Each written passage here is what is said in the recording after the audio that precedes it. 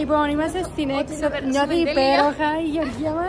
Με Λοιπόν, βρισκόμαστε στην έξοδο. Θέλετε να δείτε, θέλω να δείτε πόσο μεγάλο είναι.